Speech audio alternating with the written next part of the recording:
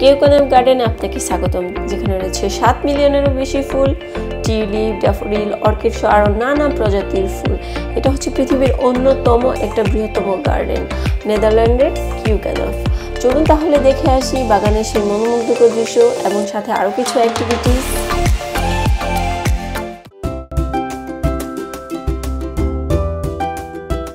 এটা হচ্ছে কেকনাফের parking parking place. এখানে গাড়ি রাখতে হলে আপনাকে এটিরও পে করতে হবে। তো পার্কিং প্লেসের জন্য দেখা গেছে যে দুইটা জায়গা আছে, একটা হচ্ছে বাসের জন্য আর একটা হচ্ছে প্রাইভেট কারের জন্য। খুব একটা মানুষ ছিল না, আমাদের সুবিধাই হয়েছে। টিকিটও আমরা খুব দ্রুতই কাটতে পারছি এখান থেকে। তো টিকিটের জন্য আপনাকে পে করতে হবে, পার পার্সন হচ্ছে নাইনটিন ইউরো। আমার বেবি যেহেতু থ্রি ইয়ার্সের নিচে সো আমার বেবির জন্য কোনো টিকিট কাটতে হয়নি।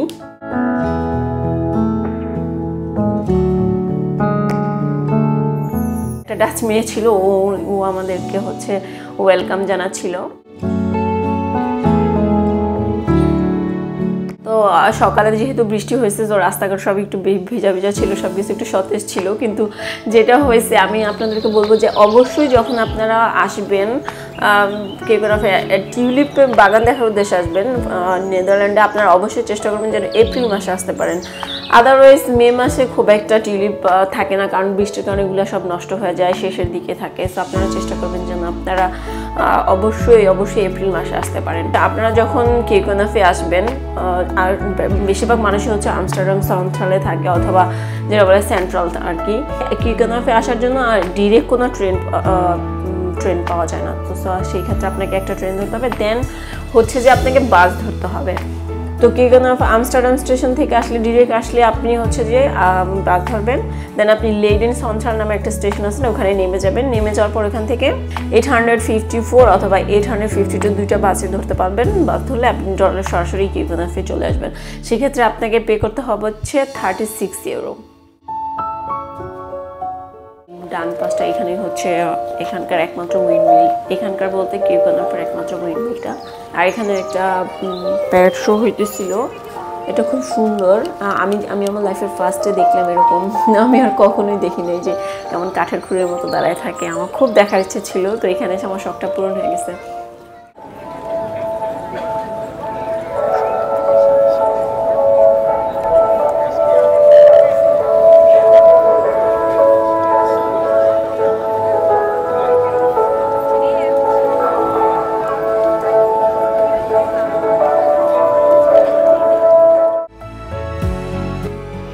হচ্ছে উইন্ডমিলের প্লেসটা এটা হচ্ছে বোট ট্রিপের প্লেসটা এখান থেকে বোট ট্রিপ নেওয়া যায়। ঠিক তার পাশে যে আপনারা দেখতে পাচ্ছেন, যে এখানে বোট ট্রিপ করা যায়। এটা খুবই সুন্দর। আর পাশে যে বাম পাশে যেই ফিল্ডগুলো দেখতে পাচ্ছেন এখানে এই হচ্ছে মূলত যে টিউলিপ ফিল্ডটা হয়। এখানে সাইক্লিং করা যায় পাশে।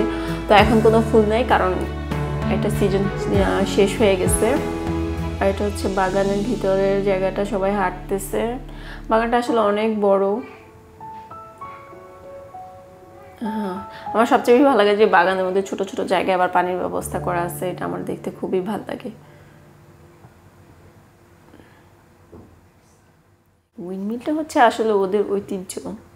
ওরা নাকি আগের দিন এটা দিয়ে পানি নিয়ে আসতো। আর এটা হচ্ছে লাভ বার্ড প্লেস বলে, এখানে সবাই ছবি টবি তোলে। ভালোই সুন্দর প্লেসটা, ছবি তোলার জন্য। একটু দূরের প্লেসটা বেশি সুন্দর।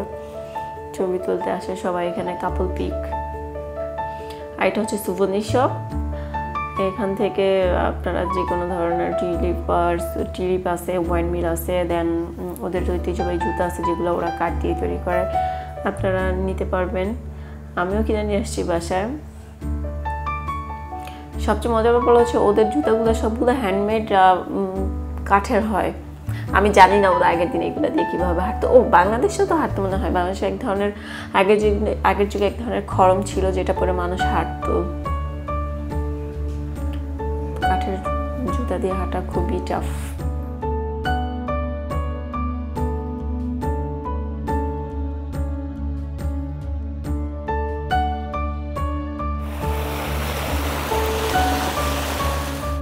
এটা হচ্ছে একটা কি বলে? এটাকে বলা হয় অরেঞ্জিনাস তো এখানে বিভিন্ন ধরনের ফুলের কালেক্ট করা হয়।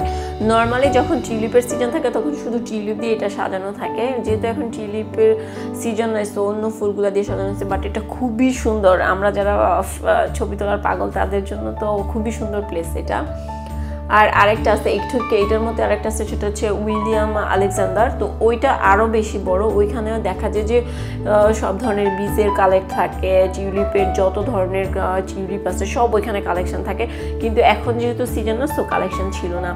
আমি আপনাদেরকে হার্ডলি রিকোয়েস্ট করব, যদি কেউ শুধুমাত্র টিউলিপ দেখার জন্যই দেখা যায়, আমি টিউলিপের বাগানটাকেই দেখতে চাই আমস্টারডামে তাহলে অবশ্যই আপনারা এপ্রিল মাসটাকে চুজ করবেন। আর মে মাসে খুব একটা ভালো দেখতে পারবেন আমি আমি যখন গেছি, আমি অনেক সার্চ করছি, দেখলাম যে সবাই লিখছে না মিড এপ্রিল থেকে মিড মে বাট আমি কিন্তু স্যাটিসফাইড না। মিড মিড মেতে আমি খুব একটা দেখতে পাই নাই। এমন না যে আমি দেখি নাই, দেখছি বাট খুব কম।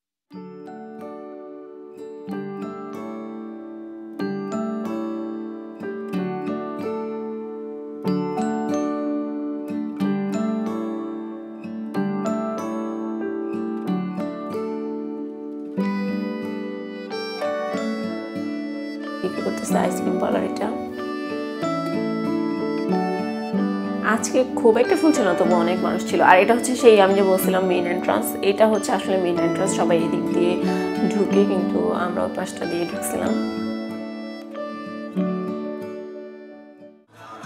আর এটা হচ্ছে এখানকার কি বলে পার্টি প্লেস বলা হয়, যে এখানে সবাই একটু হালকা খাওয়া দাওয়ার ব্যবস্থা আছে গান টানের ব্যবস্থা আছে, সুন্দর জায়গাটাও সুন্দর।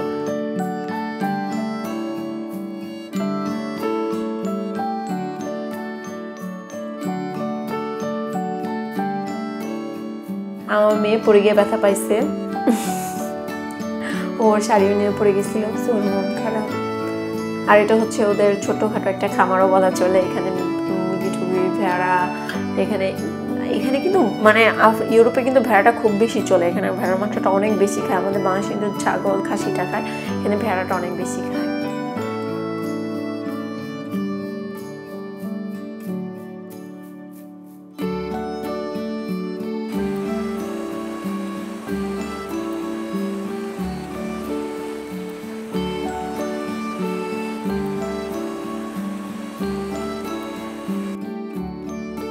দেখেন বয়স্ক মানুষও করতে চলে আসছে। এইটাই আমার ভালো লাগে ইউরোপের যে, ইউরোপের কেন অন্যান্য বাইরে যে কান্ট্রিগুলো আছে, ওখানে বয়স্ক মানুষরাও বাসায় থাকে না, ওরা চলে আসে, বাইরে চলে আসে। এইটাই সেই উইলিয়াম আলেকজান্ডার।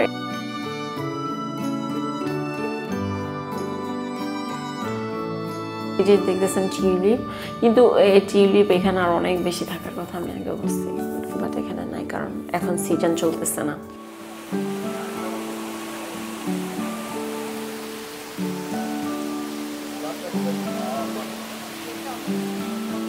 প্রত্যেকটা ফুলের গাছের গায়ে দেখা যাচ্ছে যে প্রত্যেকটা ফুলের নাম লেখা আছে, কখন, কীভাবে, কোথা থেকে এগুলার জন্য সব উৎপত্তি সব কিছুই লেখা আছে। এটা কোন দেশের পাওয়া গেছে সব কিছু লেখা থাকে। আমার খুব ভালো লাগছে এই জিনিসটা। আপনি জানতে পারবেন।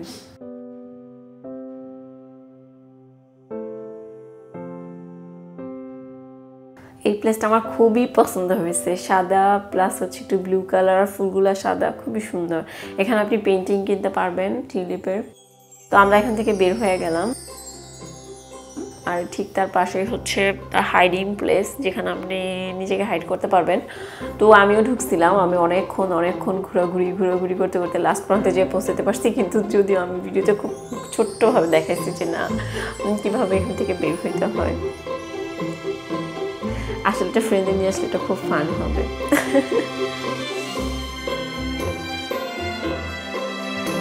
সবাই যাচ্ছে দেন হারাই যাচ্ছে। ভাবতেছিলাম আমি যে এই বুঝি পেয়ে গেছি রাস্তা বাট না, দেখি যে তারপর দেখ ক্লোজ তারপর আবার গেলাম আরেকটা জায়গায় ক্লোজ এরকম ছিল। আর মাঝখানে আরেকটা রিকোয়েস্ট করে আমার চ্যানেলটা খুবই ছোট এখনও আপনারা যারা আমার ভিডিও দেখেন, কষ্ট করে আমাকে একটু সাবস্ক্রাইব করবেন। তাহলে আমি আরও ভিডিও করার আগ্রহ পাবো। ভিডিও করতে ভিডিওতে সাবস্ক্রাইব করতে কোনো এক্সট্রা পে করতে হয় না আমার জানা মতে সো সবাই সাবস্ক্রাইব করতে পারেন। যারা আমার ভিডিওটা দেখবেন, ভালো লাগবে। অবশ্যই ভালো লাগলে করবেন। আদারওয়াইজ করার দরকার নেই।